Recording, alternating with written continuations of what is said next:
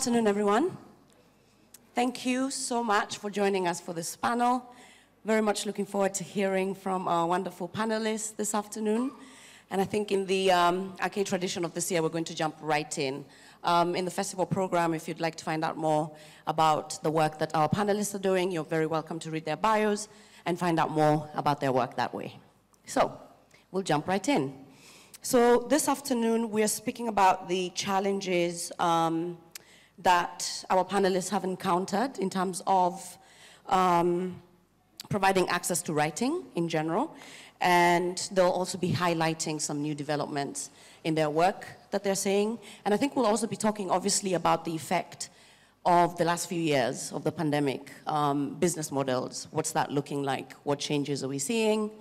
Um, and I will start with my extreme right, Ade who came up to me this afternoon, by the way, and said hello in Kiswahili. Very, very impressive. So you get to go first for that. Um, so Ade, if I can call you that, I remember a few years ago, it must have been around a decade ago, I was having a conversation with a Nigerian publisher, Eghosa Imasuen. He was in Nairobi at the time for a festival. Festivals make the world go round. They're an economy of themselves. Um, and he was a bit frustrated. We were talking specifically about post offices and the collapse of post offices. And again, this was probably 10, 12 years ago, um, so perhaps not as relevant today.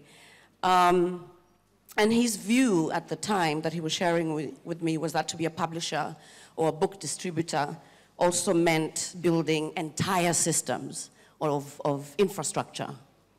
Um, and in relation to that, there's someone who's a pretty big deal in the tech world who's from Kenya. Her name is Ory Okolloh. And she has spoken in the past about um, the fact that we cannot entrepreneur our way out of broken systems. Now, you have stores in Lagos and Abuja. As far as I understand, Roving Heights is, is a popular destination for book buyers. Um, and someone in this audience this afternoon described you as um, a Nigerian rising to a Nigerian problem. Do you think the problem you're tackling is universal or specific to Nigeria in terms of distribution of work? Uh, thank you very much, Angela. Uh, good afternoon, everyone. Uh, it's a pleasure to be here, and I'd like to uh, express my profound appreciation to Lola uh, for uh, inviting me to talk about my work, our work rather, and, and also to learn from everybody who's in the book space. Um, so to your question, um, Angela, I think uh, distribution is not a problem that is um, peculiar to Nigeria. I think it's an, uh, it's an African problem. And I say this because I've had the privilege of living and working in East Africa, Tanzania, and I guess that explains where I could, um, uh, you know, speak a smattering of Kiswahili. So yeah. I'll take it. you know, um, so I, I, imagine living in Dar es Salaam and, um, you know, wanting to buy a book from, say, um, you know, what's the name of that bookstore, um, Sleepaway in, you know, in, in Dar es Salaam, and then you're, you're in um, somewhere in, um, let me think of, um, you're in Arusha or in some remote village. It will take you perhaps maybe twice the price of the book to be able to get it to uh, to wherever you are. And I think it's a challenge that you, that everyone who's interested in, who's, who works in the book space, you know, um, you know, they encounter every time, right? You know, so um, someone is in Benue State, so let me think of a small town in Benue like Boko in um, north central Nigeria, and you're a big fan of, you know, Lola Shoneyin's books of writings, and you want to buy uh, The Secret Lives of Baba Segi's, you know, wife. The price of the book is 2,500 naira, and just so you can wrap your head around say that's about five, five, six dollars. And if you, you know, place a call to Roving Heights or you order it on our website, um, it will probably take, you know, 2,500 naira to get that book delivered to you in Benue. So imagine buying a $10 book and, you know, spending $10 to also, you know, get the book dispatched.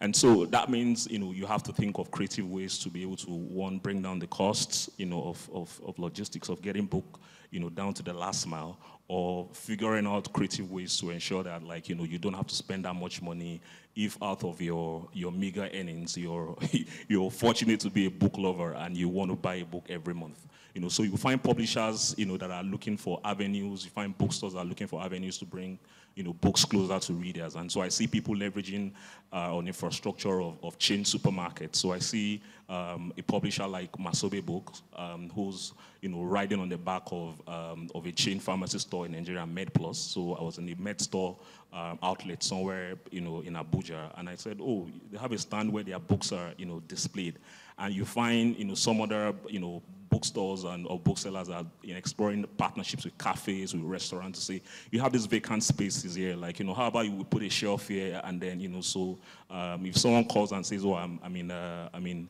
um, uh, I'm in um, uh, and I want to buy a book, I can say, well, why don't you go to Fasa Cafe? There's a stand there where you can, they also have a bookshelf or there's a restaurant somewhere where you can.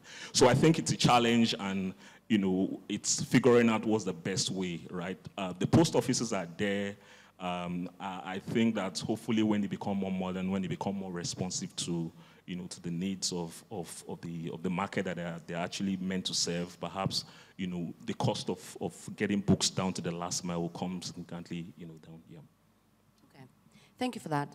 I'll jump onto you. Um, Ama, we've been having several conversations over the last few years around your business model um, and the fact that um, AkooBooks which is Ghana's first publisher and digital distributor of African audiobooks, um, is, is definitely, it's the same business, it's built on different infrastructure. You're leveraging on technology a lot more and obviously relying on, on audio storytelling as the format. Um, what's been the uptake of this so far? Hello, and uh, very, very happy to be here. Thank you, Lola. This is my first Ake. So I am just so delighted to be here. So, um, audiobooks. Um, just taking on from what uh, Dotun, Dotun says about um, Africa being such a massive continent and just the physical difficulty of getting books from one continent to another. You hear just even the discoverability how do you know who's writing science fiction in Cameroon, who's writing romance in Nigeria, who's writing um, historical fiction in Ghana? It's just so very difficult to get um, answers to these things. I wanted to build a platform where discoverability of African books would be a lot easier, and I wanted to build it using devices that everybody carries around um, already. I mean, everybody in the room here has a mobile phone, I'm really sure. And I think, for me, publishers would um, understand that the potential to transform a mobile phone into a digital library of books um, would open up so many opportunities for access to books. So I started my business with audio in particular because my mother was a writer and she lost her sight about 20 years ago. So the physical book was not, uh, you know, was not an option for her. She said she was too old to learn Braille, and so audiobooks became her life. We started listening to audiobooks from the days of books on tape to now, of course, it was DVD, then it's become streaming audio. She subscribed to several audiobook services. But we found out um, very soon that the African books were not available. So I'll be talking about a new book. Mum couldn't listen to it. And I started to think about, I come from a technology background. Why aren't we having more audiobooks? Africans are wonderful storytellers. We come from an oral tradition. We have wonderful voices.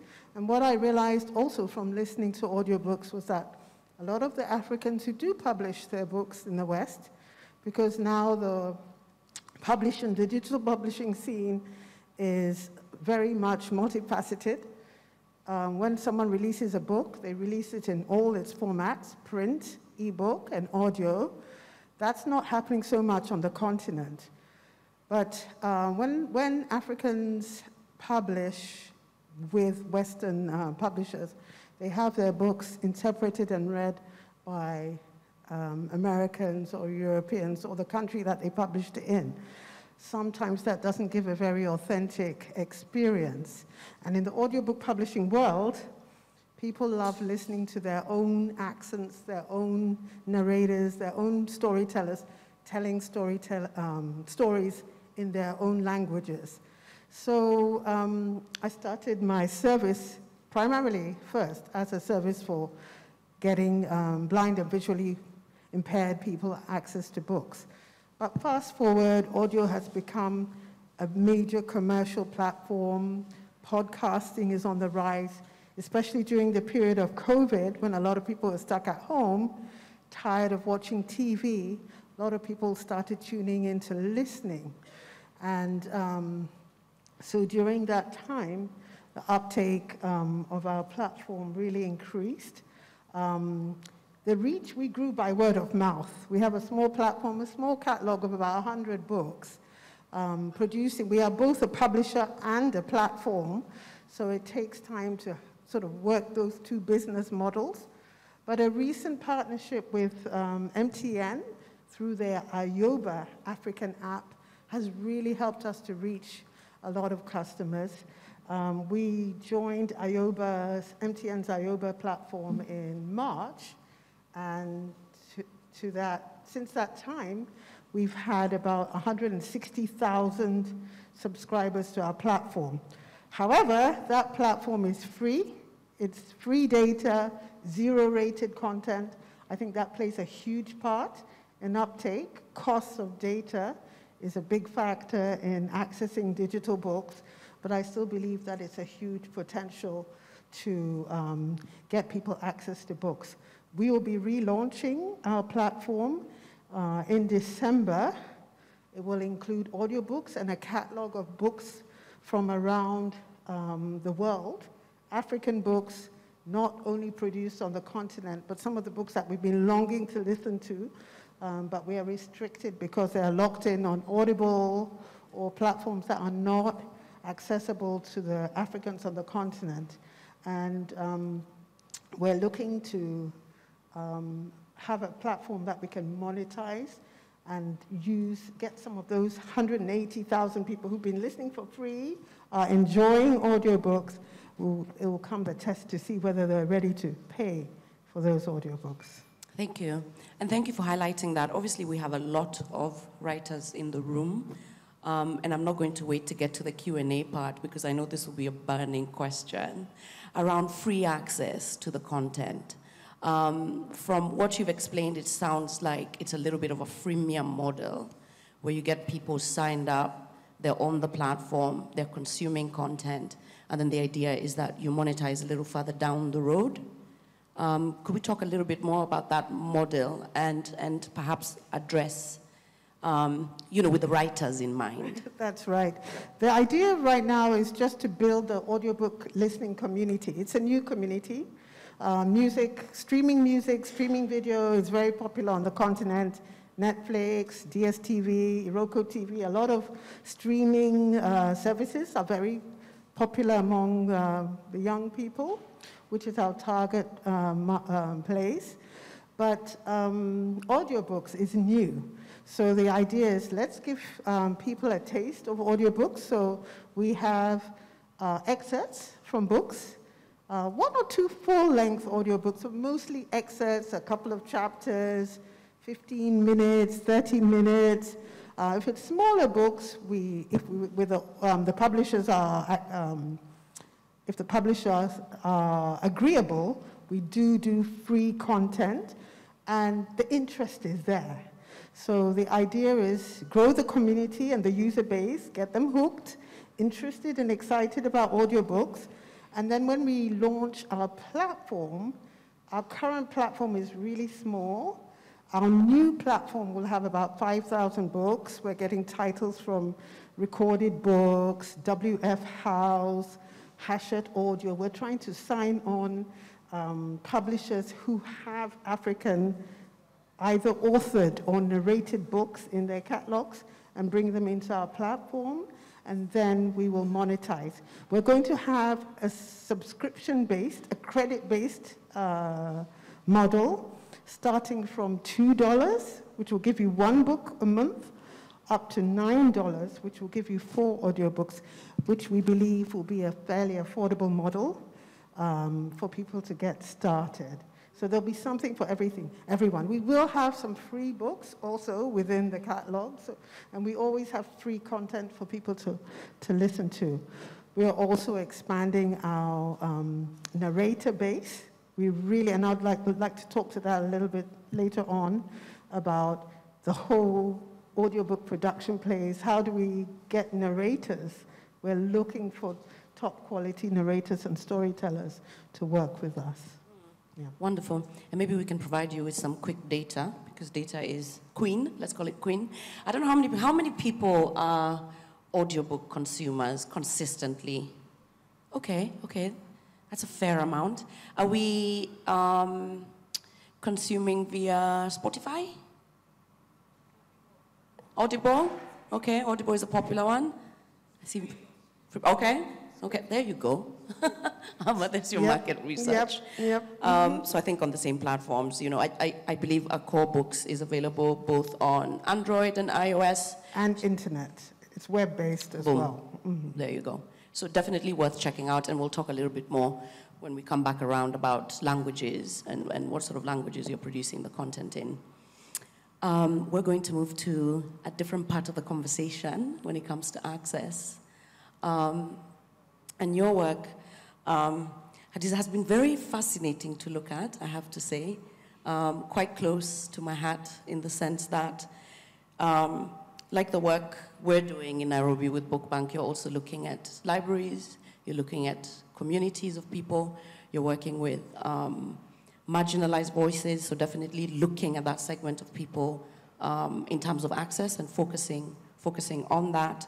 You wear many hats. Um, I believe you own a publishing house, you're a writer yourself, um, and you're also an editor. Um, with your foundation, specifically with Yasmin El Rufai, you're, you're providing access to arts and culture in general um, in northern Nigeria. And I was also informed that you're educating young girls and women, re-educating them, um, who've been married without an education, um, you're re-educating them for about a year, teaching them to read and write. What role do these opportunities um, play in leveling the field, in your view?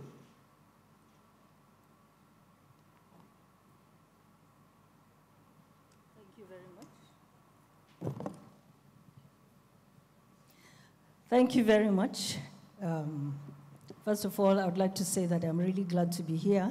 And um, like the others have mentioned, I'm grateful to Lola for inviting me. Um, well, about my foundation, it's true. We have two key goals. We encourage young people to enhance their creative writing abilities.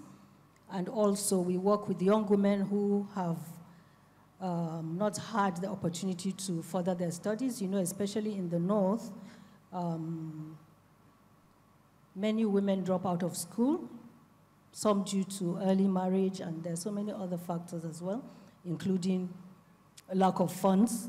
The families always prefer to educate the men rather than the women who will be married off and go somewhere else.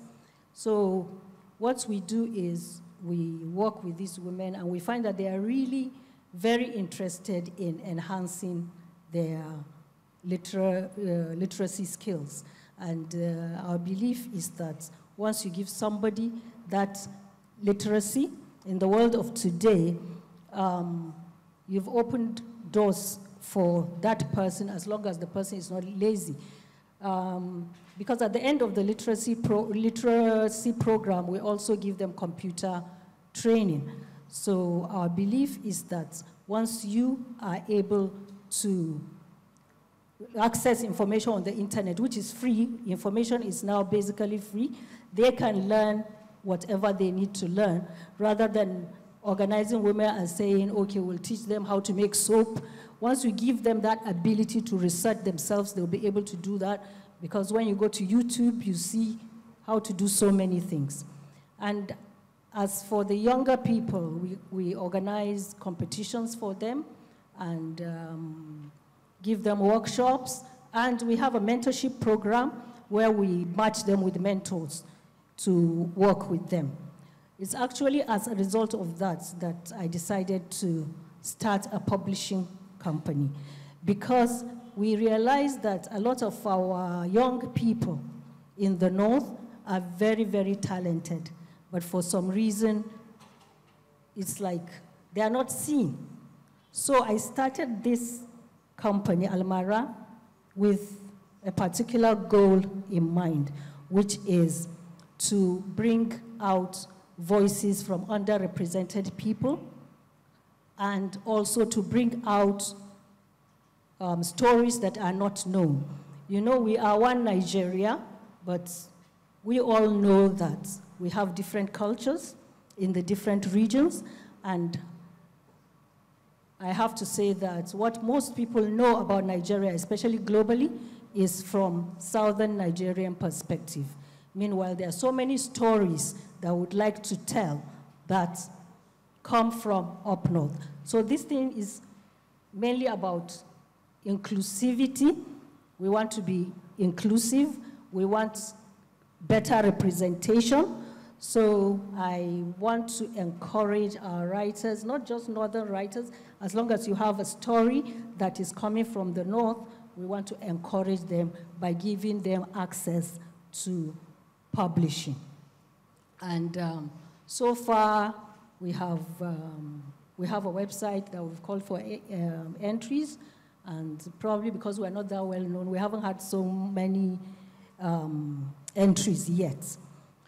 Um, I think the problem with not having northern voices or northern stories so much represented, especially globally, um, has to do with the fact that I think sometimes our own writers do not have the um, audacity or whatever I should say to send in their works to other publishing uh, companies. So I believe that they might feel more confident in sending works to a publisher that they know they can relate to. And also, there's the fact that sometimes the best person that can assess your work is somebody that knows the context of where you're coming from.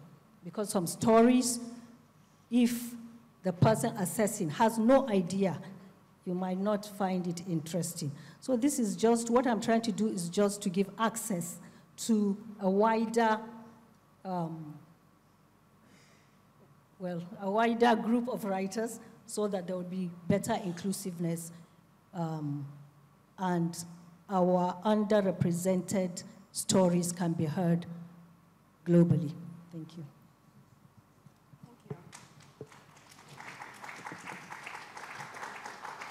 Thank you.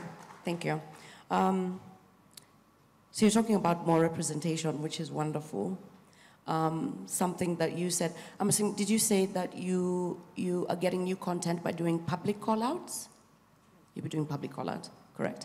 Okay, thank you. Um, another thing I've been thinking about in terms of um, access in this conversation has been around, I think there are a few pandemic novels in the room, or short stories. There must, yes.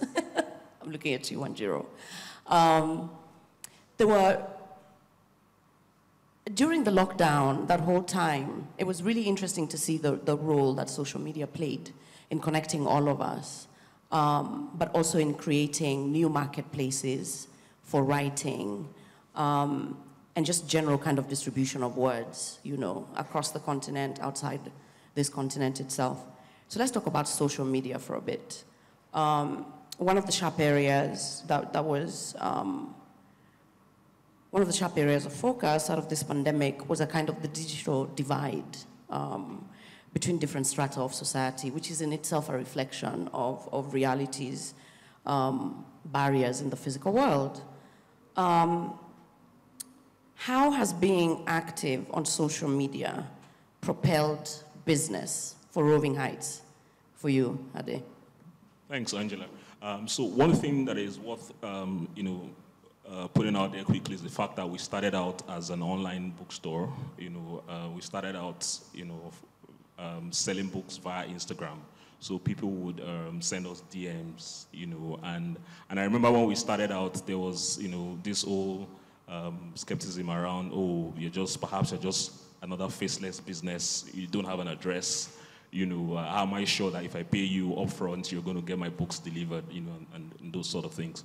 Um, and, and increasingly, uh, we realized that you know, you know, social media, as more people were signing up for uh, signing up on Instagram, and more people were getting on Twitter and on Facebook, people became more comfortable with the idea of like, oh yeah, they've posted this book on Instagram, uh, and then you know people are talking about you know these kinds of you know uh, books, you know, and then growing communities like the Bookstagrammers uh, that have helped you know uh, books uh, do well. Um, and, I, and I think the whole TikTok thing is even a separate conversation on itself, even where before TikTok became, TikTok became you know, the rage. You know, so we started out being uh, an Instagram, you know, bookseller. Uh, and then we realized that people wanted to have, you know, come into physical spaces where they could touch the book. And also having a physical space also sort of helped us with legitimacy knowing that you're not just another faceless business that I'm going to pay and then you disappear, you know, for, what, for whatever reason. So I think that, you know, um, and, and I see the same thing in, in other parts of the continent as well, right? You know, Lolwe Books in, in, uh, in Kenya, I hope I got the pronunciation right, Lolwe, L-O-L-W-E in Kisumu, yes, yeah, yes. in Kenya. You know, they're also an online store, um, you know, and you find, you know, some in other parts of the continent as well where people are writing on, you know, on, on the tools of social media to be able to promote books. So I think it's, it's something that has helped a great deal to give books one visibility. You know, more people, uh, as more people are signing up on Instagram, on Twitter, you know, more books are getting visibility. So um, off the back of, you know, hashtags, you know, books have sold hundreds, in some cases thousands, uh, because someone has, you know, written a book and bookstagrammers are talking up the books. Uh, so we're seeing like, you know, right, you know, in, you know, in book sales on the back of that. And during the pandemic as well, when people were, were home, you know, for us, you know, the challenge then was people are ordering books because they're at home. How do we figure out how to get these books, you know, you know, you know, to them. So um, I, I think that um, you know the social media um, platforms will continue to um, drive you know trends, positive trends. You know, as and some people might have expressed pessimism that you know people are spending so much time on on social media, and so it's going to kill interest in books and reading. But what we're starting to see is that you know this. Um, you know, those, these platforms are actually driving more interest in books you know, you find whole communities around, like, you know, uh, on Instagram, you find, you know, TikTokers. When we go for book, uh, book fairs internationally, you get, you know, catalogs that are, you know, talking about the books. These are the books that are doing well on, on, on Instagram or on TikTok, I beg your pardon. And I think it represents an opportunity for, uh, for those in the publishing space to see how can we leverage this trend to also drive more interest in books, how can we use these numbers, the numbers that we see. So when we post books on our social media handles, we, we're very heavy on analytics. We go back and see how many people downloaded those books to say, you know, I'm going to add to my to be read books, or um, how many people are, you know, are interacting and engaging with the post. Those are like really good proxies for us as to how those books will sell. So if I post a book on Instagram and maybe four or five likes and nobody download, downloaded the book, it tells me like maybe there's something about how people are connecting or how this you know, particular work is, you know, is, is going to be perceived. Thank you. Um, thank you. Anything on social media, Ama? Yes, um, just like uh, Dotun said, um, I think social media has, has, become a crucial part of um, the whole book lovers um, network, you know, the community of people who read who share um, about the books they're reading, um, and a lot of followers. Um, um book, I think they're called BookTokers, right? BookTok. Um, and just recently, Penguin Random House has had a partnership with some of the BookTokers who are bringing many, many uh, readers to their platforms. Um, AkooBooks doesn't have a TikTok account at the moment. We are mostly on Facebook and Twitter, Instagram, um, because I thought, oh, audio doesn't really fit in with some of these platforms. But I began to take another look at it, and I'm, I'm looking for African BookTokers who might be able to talk about the books in audio format, who might help us to share their excitement about a particular book. And it's quite exciting. We're looking at uh, in the next few months if we can get a few people, young people, to help us um, drive readership and interest in books on those platforms. Um, ah, someone's pointing to one. Wow, that's exciting. Um, we, during COVID for us, um, it was a time where we focused a lot on children's books and early literacy programs. Um, Ghana government did a lot on radio uh, to support early literacy. And those radio programs were broadcast like Monday to Friday, and it was just teaching because that two-year period really disrupted, you know, early primary school readers who were learning to read. So they did a radio series, um, but the thing with the series was they broadcast it once, I think they did a second repeat, and then that was it. If you missed it, you wouldn't be able to get the um, audio recording again. So we were able to go to government and say, look, we have an audio hosting platform. Why can't we, we would we'll be happy to host it for you so that um, parents can have it on demand. Some children just need to hear a lesson a few times before they can get it, and, and also the convenience of being able to listen with your child, because during that time, a lot of parents were looking for, you know, um, ways to earn some money because they were not working or they were laid off. And so um, having a platform where we could host audio um, so that children could listen was really important. And, and um, we use social media to help um, um, broadcast about those, and, and, and, it was very successful. Mm. Mm. Mm. Okay, so BookTokers need to sidebar Ama. Yeah, I see. I see a collaboration cooking here. Um, this morning, when Professor Howard French was talking about, um, well, he was talking about very many things, but one of the things that he said was that Nigeria is looking at um, propelling towards 850 million people in terms of population. And I was thinking about just the sheer amount of languages that are spoken here and the sheer amount of marketplace as well. Um, Ama, for you, on AkooBooks, what languages are people listening to audiobooks in? What's popular? What's popping? Um, mostly English, sadly, because English is a dominant language of publishing. But um, definitely for me, I'm really passionate about um, the possibility of listening to audio stories in many other languages. Um, but the challenges are a lot of publishers aren't publishing in, in our local languages. We have a few Ghanaian language um, storybooks on our platform. We have uh, languages, uh, we have Twi, we have Ga, um, but that's about it.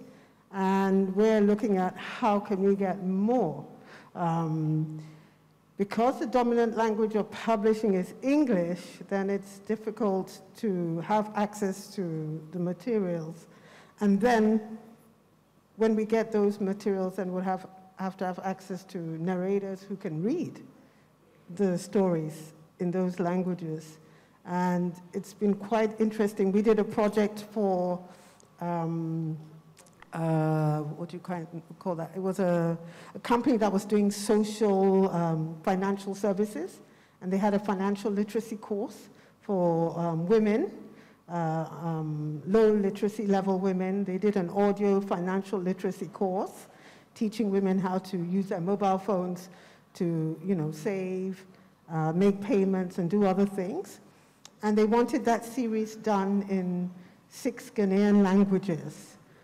So we had to have the, it was done, written in English, we had to have it translated and find readers to do it.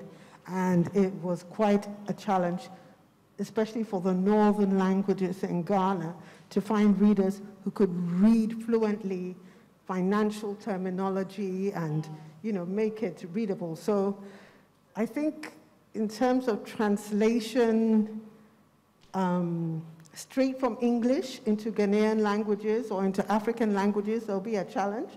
I'm looking to see authors who will write first in the local language straight away. So it's not a question of you're translating from English into, um, you know, local languages. And I think that will make for a more fluent read and make it much uh, more enjoyable. But we are really open to all languages. My vision is to have AkooBooks as a pan-African platform, all the African languages. You can listen to books in whatever language you want. And we want to grow um, that relationship with publishers who are publishing in local languages. Yes. Mm, thank you. Is it the same for you with languages, with Amara books? Are you looking at English or English and others? Actually, we're just looking at English. Um, as you mentioned, you know, there's a huge challenge we face in Africa and even in Nigeria when you talk about publishing in our local languages. For instance, in Nigeria alone, we have close to 300 different languages. So I think that alone, the sheer number is a problem. So we are just looking at publishing in English language. I just want to add one thing. We're a new publishing company, and since we started, we've just been thinking about traditional publishing, but having come to this festival, which is one of the gains of coming to such festivals, I am beginning to get another idea because of the, we have a long history of oral, oral storytelling. Therefore, I think it would be a good idea. We could, you know, trans we could um, change our text to an oral yeah. reading so that we can have the kind of audio books. I haven't thought about that before, but I think it's a good idea. And at the same time, we can also, you know, change audio. We can have uh, people that want to tell their stories that are not necessarily writers come and tell us their story, and we can transcribe that into text. I think that is something that uh, we should consider. So, you know, I like working with young people, but unfortunately, I can be quite old fashioned. I like to read the book book.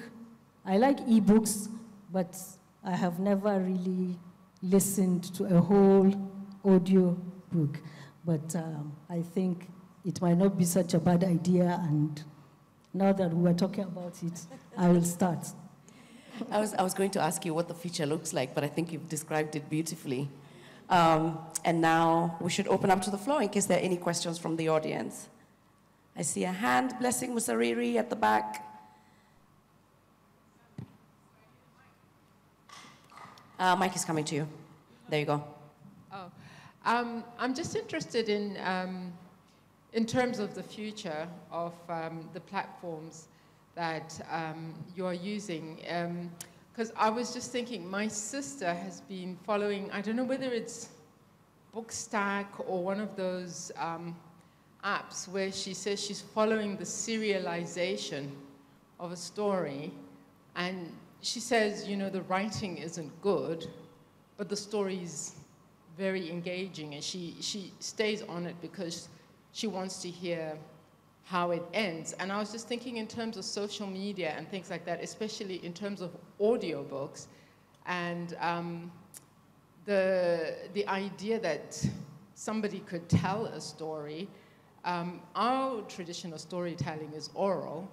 Is there no like um, interest in having stories told like uh, somebody who wants to tell a story and then serializing it because I think that's something that people would be really interested to follow, especially people who can't read and they want to listen to a story, especially, you know, there's um, stories that are really quite, there are people who can tell a story so sensationally that you will have a whole nation hooked on it.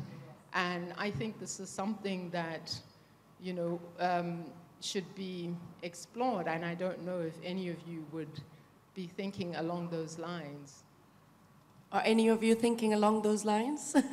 Thank you, Blessing. Um, and that reminds me about a kind of similar model on, I don't know how many people are listening to, to Serial, but I, I was hooked. I was hooked on Serial, which is exactly the, the model that you're describing. I think there's a huge potential market um, for those kind of models. And anyone who's in publishing and definitely thinking about leveraging technology should be thinking about the possibilities in that direction. I absolutely agree with you. However, Books only works with published writers. And the reason that we do that, and, and there's this whole interesting thing about is oral superior to written text and so on. But what I find is that we're not a full editing publishing house.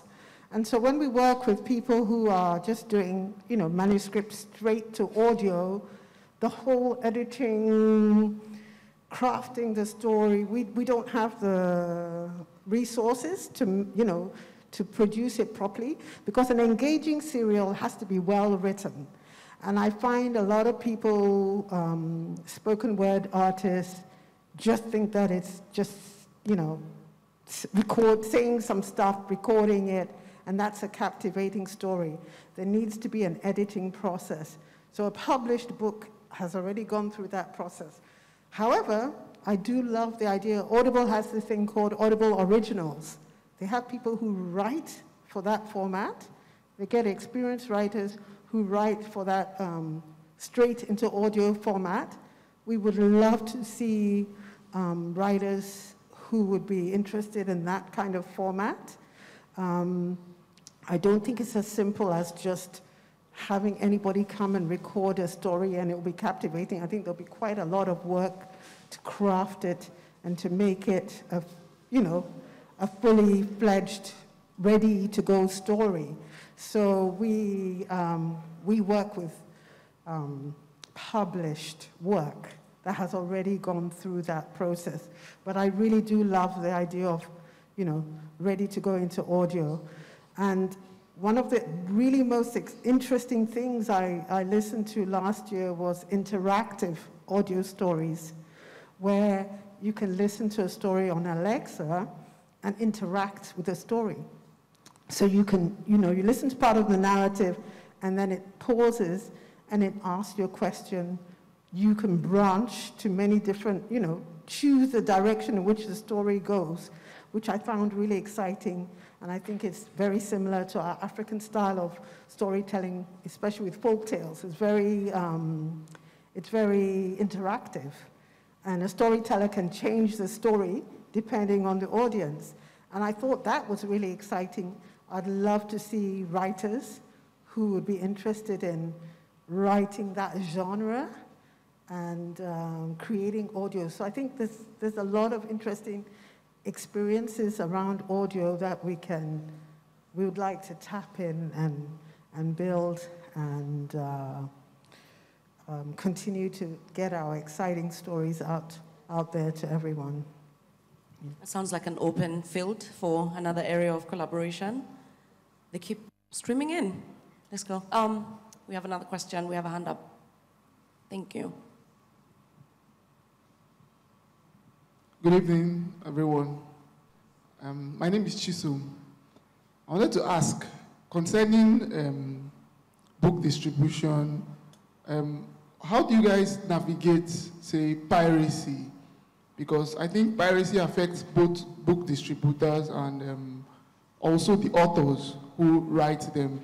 Because if more of your books are being pirated than the actual ones that were distributed by the legit, legitimate publishing house are being sold, then the, both the authors and the books, maybe the booksellers might also be patronizing the pirated copies as well. So it might not even be affecting the booksellers as much as it's doing the authors. So it's possible, yeah. So I wanted to ask, how do they, how do you navigate these things? How do you pick and choose between um, pirated books and original ones? Do you just buy all of them and sell and say, okay, we are making money from all of them and stuff like that? Thank you.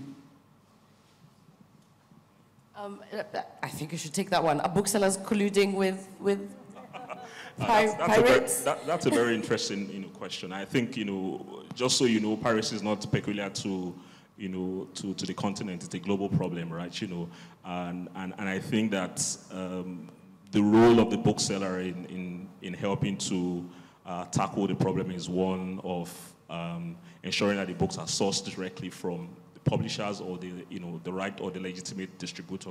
So sometimes as booksellers, we've had calls to, um, to not to carry titles whose suspects we, uh, we, we imagine are, you know, I mean, origin we suspect are, you know, dubious, right? You know, so I, I see there's a, there's a new flood, uh, new wave of a, type, uh, of a particular series, Pacesetters, you know, that, that is flooding the markets. And I remember once having to talk to one of the writers to, to say, hey, this book used to be published in the mid 80s and early 90s and they're now back in print. And you've written one for, for uh, written a book in the series. Are you aware that it's back in print now? And the doctor said, no, I'm not aware. Like, you know, I mean, and, and so at that moment I realized that, you know, the origin of that particular series perhaps is, is dubious. So uh, it's a challenge. And I think that, you know, if you also pay close attention, realize that the pirates only, um, you know, um, they only thrive on like popular books. You know, so sometimes when you talk to the publishers, you know, whether Nigerian and like, oh, they are pirating my books now, they're like, well, the only ones that they're pirating are the popular ones, the ones that are in demand. So one's an indication that there's a lot of demand, and that's in fact, valuable feedback for the publishers because sometimes they don't have, you know, record of the data, you know, of what people are, you know, people are trying to read.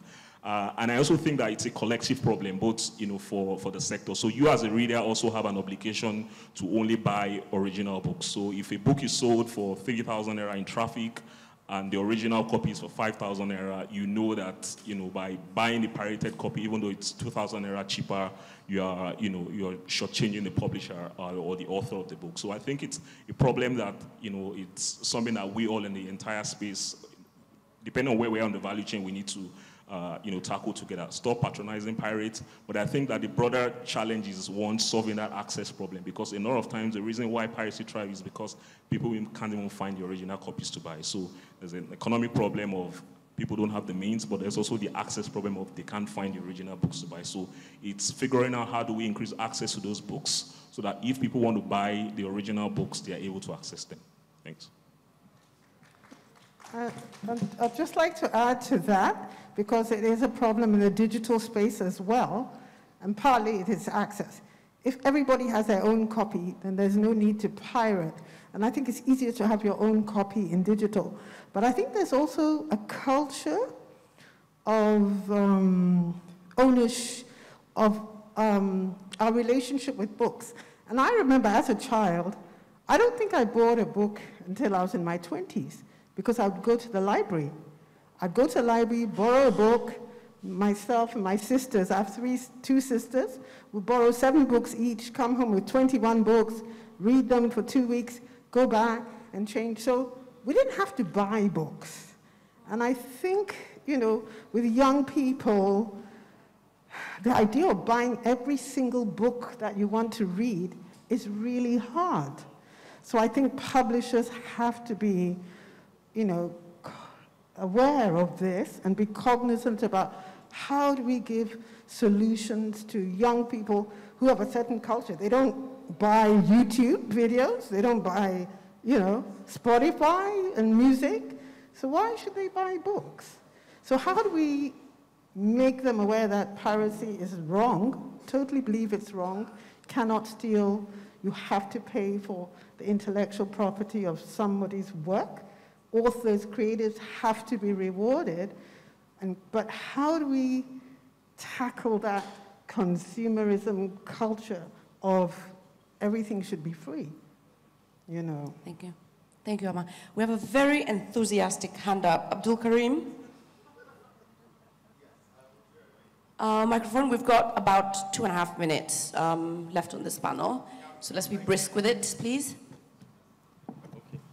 Um, Thank you. Like she said, my name is Abdul Karim. Um, I have a question for uh, Ms. Hadiza.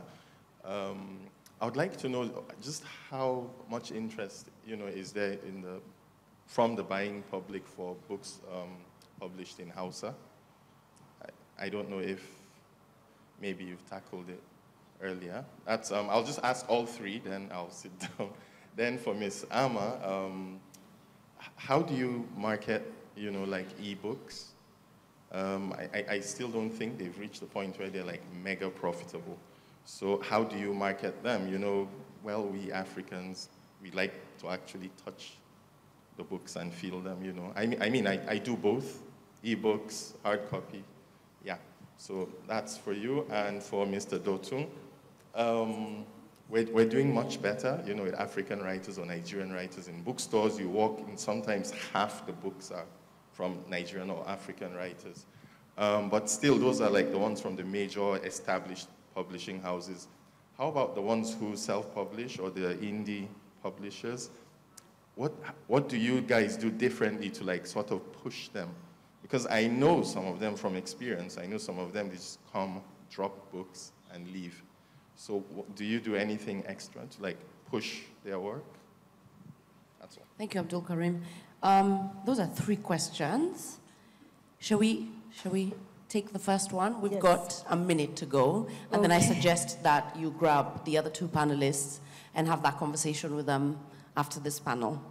Okay, I'll try and be quick, but uh, it's a very interesting question because there is really a huge, huge, huge market for Hausa literature. You know, there's what we call Kano market literature. They are very prolific writers in the Hausa language. They churn out books. Most of these books are self-published. But uh, my interest, really, like I said earlier, is to bring to awareness underrepresented people. And unfortunately, when you write in Hausa, you're only catering to the Hausa markets. My interest is to expose our stories all over the world. So ultimately, it has to be in English. But having said that, there's also the fact of translation. I don't know how good we are in translation in Nigeria because some of these um, books that are published in Kano, self-published, many of them, of course, are just easy romantic love stories, but there are a few ones that are really, really good, and I believe if they can be translated to English language, they will make an impact. But um, I'm not really conversant with the way translation works, but really there's a huge market for Hausa literature.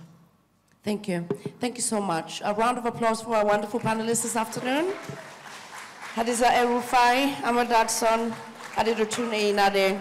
Um, Hadiza's book, An Abundance of Scorpions, is available downstairs. So if you do want to grab a copy, she can sign it for you. Thank you very, very much, and um, see you all over the next couple of days.